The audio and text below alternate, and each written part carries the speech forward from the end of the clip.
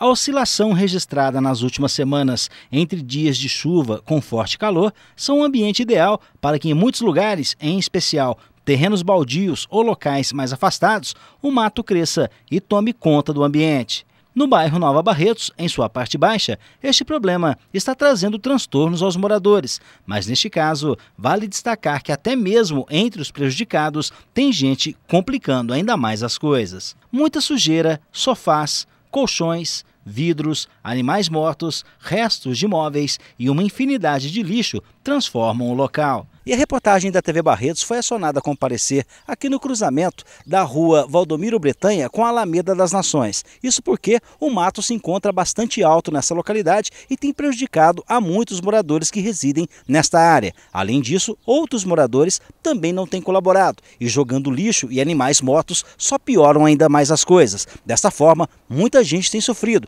e o medo da dengue, na verdade, é uma real ameaça por aqui.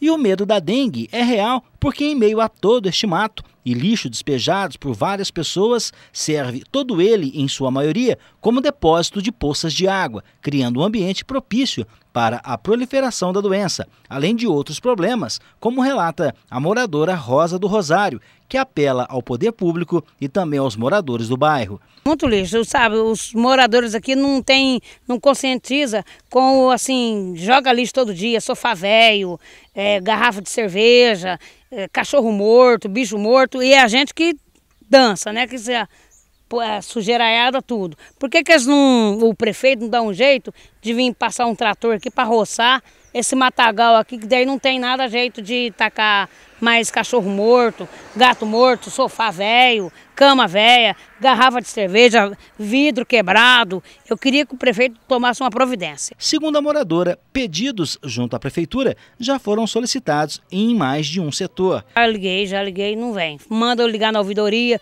da, ouvidoria manda ligar em outro lugar e assim vai mandando, vai mandando, vai mandando. Tá vendo? Eu vou ligar na reportagem. Foi onde que chamei vocês.